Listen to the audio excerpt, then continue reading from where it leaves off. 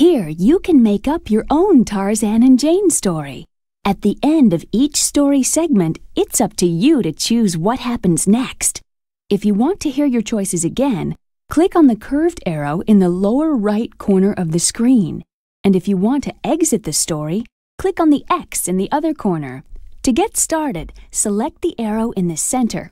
Good luck!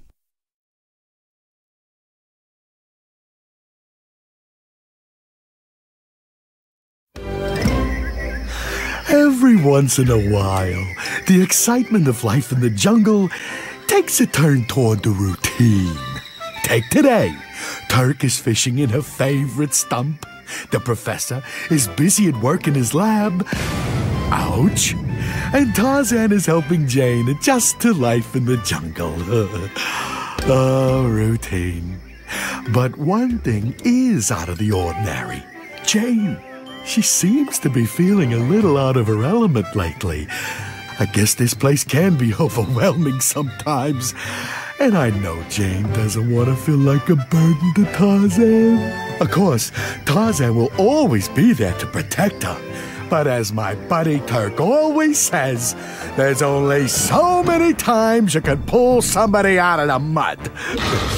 um, as well as Jane is adapted to life in the jungle, sometimes uh, she's as clumsy as an elephant, uh, figuratively speaking, of course. But Tarzan doesn't mind. In fact, he'd be at her side right now if not for that plume of smoke there in the distance. Smoke. Did I say smoke? Oh, wait. Where there's smoke, there's more smoke.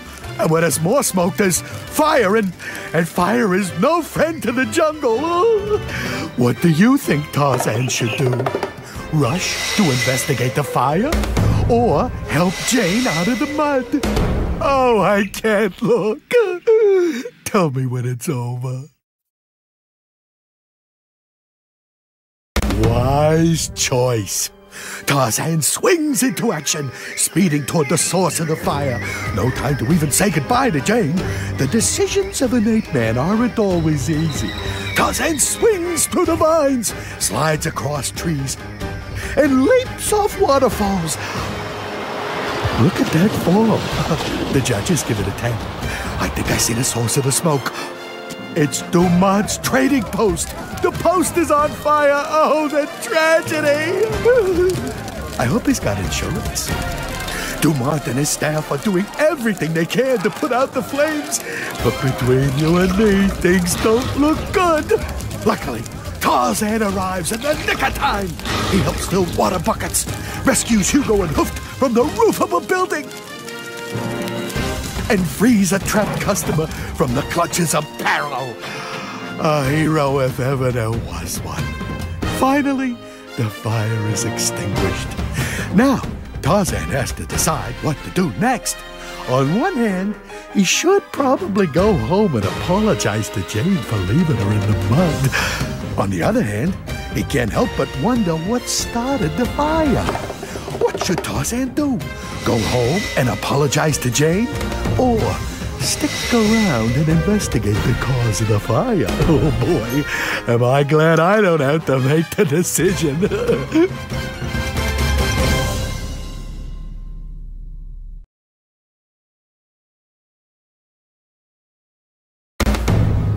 Bold choice. Tarzan must know what started that fire, and he needs Hugo and Hoof to give it to him straight. But Getting those two to stick to a story is like teaching an elephant to dance. Possible, but not easy. The moment Tarzan leaves, the evil slash not very nice Colonel Staquait pops out of the bushes to arrest Hugo and Hooft. He says they're deserters from the Foreign Legion. Personally, I love dessert, especially with those little coconut sprinkles, you know. But I digress. Now, our man Tarzan is on his way back to the treehouse when he realizes it might be a better idea to keep an eye on H and H. Those two are always getting into trouble. Tarzan makes it back to the trading shack just as that mean old colonel is marching away with Hugo and Hooft. The nerve! Tarzan keeps a low profile and follows them through the jungle. A rescue could be dangerous. It might be better to wait until dark to make his move. What do you think he should do? Attempt to rescue Hugo and Hoof now? Or wait for a better opportunity?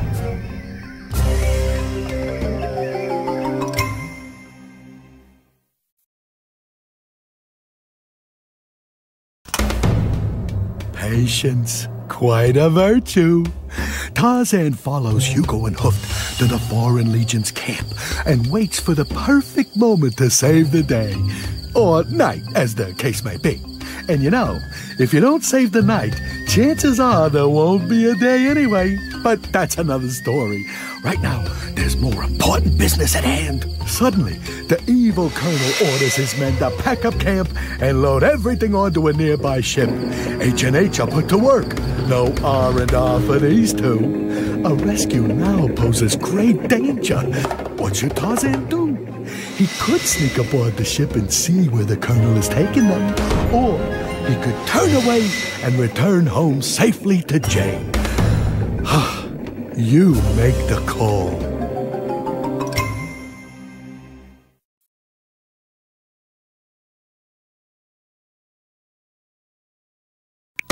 So, you're a take charge kind of person. I admire that.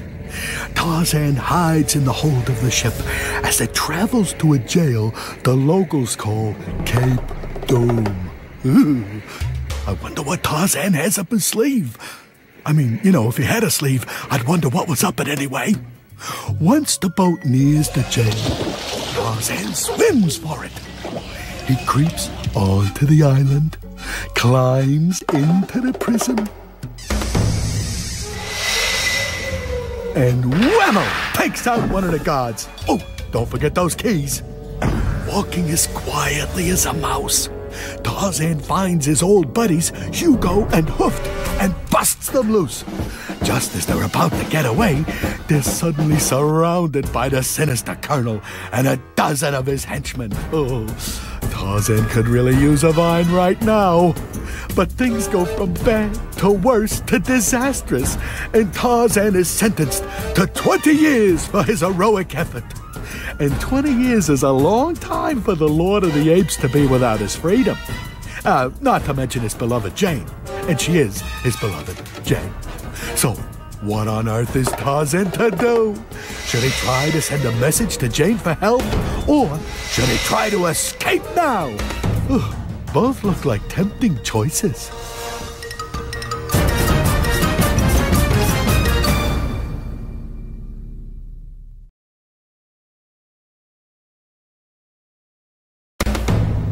Taking the safe way out. Okay, no problem. Tarzan has to get a message to Jane. She's so smart, she'll have a plan to get him out of there. Hugo steals a key ring from one of the guards. Then, when nobody is looking, Tarzan and the boys sneak out of their cells and into the radio room at the jail. Now, poor Jane has spent the past several days at Dumont's trading post waiting for news about Tarzan's well being. Finally, through the crackling static, Jane hears Tarzan's voice. He's alive! it makes you want to cry, doesn't it? Tarzan explains his predicament. Then, suddenly, the line goes dead. Uh-oh. Jane instantly springs into action. Before you could swallow a bag full of peanuts, Jane bursts into the jail with the magistrate at her side. She accuses the colonel of running an illegal operation and insists that he let Tarzan, Hugo, and Hooft go free. The colonel denies everything, obviously, but when the magistrate threatens him with a court martial, he quickly changes his tune. Way to go, Jane. Back on the boat to freedom, Tarzan asks Jane how she managed to get the magistrate to come all the way to Cape Doom with her.